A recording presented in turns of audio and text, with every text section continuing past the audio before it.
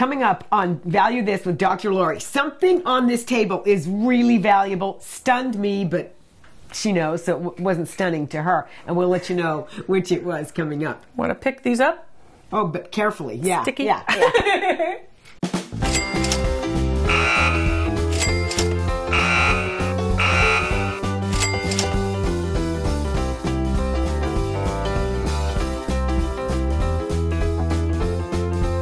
On Value This with Dr. Lori, we're talking about collecting toys. And these are not new toys, these are old toys. Yeah. What's valuable, what's not? Okay, uh, toy market's very emotional. So a lot of people want to reclaim their old toy, Yes. you know? So a lot of the toys, I want you to think about pull toys, original wooden toys, handmade or painted toys. We're talking about these vintage toys. So toys which date, let's say, to the golden era of toy making between 1880 and about 1950. Okay. Okay, so that's what you're looking at here. Now, some of the ones that we might remember is Fisher Price. Mm-hmm. Fisher Price, about 80, 85 years old, right? This company out of Long Island, New York. And they were known for wooden pull toys. Some of them are still wooden pull toys, and then some of the newer ones from the 1970s and 80s are actually made of plastics. Yeah. So this is one is wooden, so worth a little bit more from about the 1950s. Does it have, and it's wood in front or is that plastic? So there's front? plastic with wood. Okay, here. so does that diminish the value if you end up getting that combo of plastic Yes. and wood? It does. Yes, okay. it does because the one from the 30s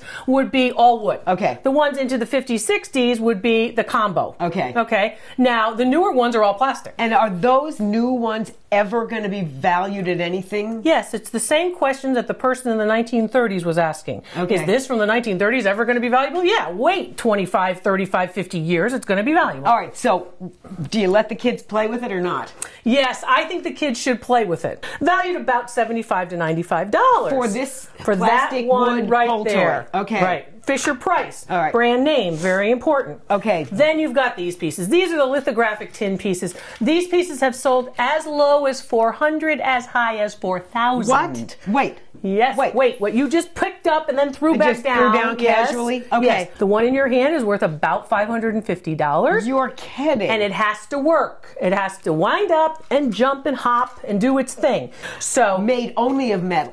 Made of lithographed tin. That means Lithographed tin. that this decoration on it is actually a print, a lithograph, Okay. which has been applied on top of the piece of metal. Now, me, don't let the kid play with that. Yeah, now absolutely. you're talking get, about bigger get your hands off that. Go clean your room. um, okay, now what Right, about right, this? Right. Now, that, of course, is made of rubber. When was it made? Probably in the 1930s. Remember, certain materials are not going to be utilized during the war effort. This particular piece is a piece which has a secondary val- market value just about $100. Okay, And all that's right. also a pretty nice and valuable toy, Yeah, even, though, it's the, been used. even though the uh, the tail wing or whatever it's called is not here. That's right. That's Okay, right. all So, right, little bit of damage. Now, yes. this is another pull toy, and this has a lot going on because as you pull it, you see that the little and it looks ducklings. plasticky. Right. But So more or less than this pull toy, Carol, do you think? This one's about seventy-five to eighty-five dollars. How much do you think that one is? it's a lot less. A well, I was going to say just because of all this plastic. Well, the plastic, but also because they are mass produced, and then they just make a lot of these, and then they just put Just them on all. stick 'em on- right, on exactly. Okay. Pick up sticks, games. Pick up sticks. If they are the original games in the original con- in the original containers, this is about a fifteen dollar game because why? The container is not complete. okay, it doesn't have the top on it. Boxes are important, original boxes, and don't put cellophane tape on your boxes or your game boxes because that will decrease value too. Those are fantastic. I love these. Those are the Viewmasters. Those would open a world to kids. Yes. Right? These collectible or not? Those are very collectible because everybody loved them. We all felt the same way about this and Spirograph. Remember Spirograph? Yeah. Yeah. Certain toys had a great affinity for lots of people. Puzzles, World War II ish World War II image, image, right? but that looks very modern. So this is a nice piece, modern, but these are probably about a dollar to five dollars each. Old have board to have all the pieces, and with the board games, you have to have all the pieces too. You can pick up an old board game like Candyland, or my favorite, which was called Masterpiece, the art auction game in Right. the 1970s. I, I love that. How game. perfect for you. I know it's perfect. How perfect. And those are usually somewhere around fi- fifteen to twenty-five dollars for one if game. If you're out looking for a toy to collect and you come across it, what would you tell somebody to look for? what you loved as a kid.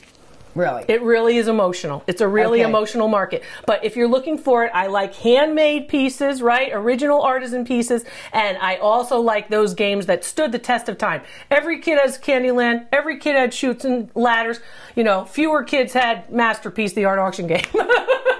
Monopoly, the, the first original Monopoly game, which actually dates to the middle part of the 1920s, sold for over $55,000. And it was actually made in Germantown, Pennsylvania, Germantown Avenue in Philadelphia, Pennsylvania. And the board was literally a piece of canvas that was hand painted, the original one. Oh, so boy. Monopoly is usually a good Park uh, board Avenue game. even looked good on that, though. I remember that game. All right, really interesting to know Right. about the toys, and you've got more, I'm sure, on your website. More on our website at drloriv.com. Lots of tips there, and on an, and of course future episodes of Value This with Dr. Lori. We'll talk more about toys, games, and just the things we love, just like Okay, that. We're going to hop on out of here, and uh, we'll see you next time.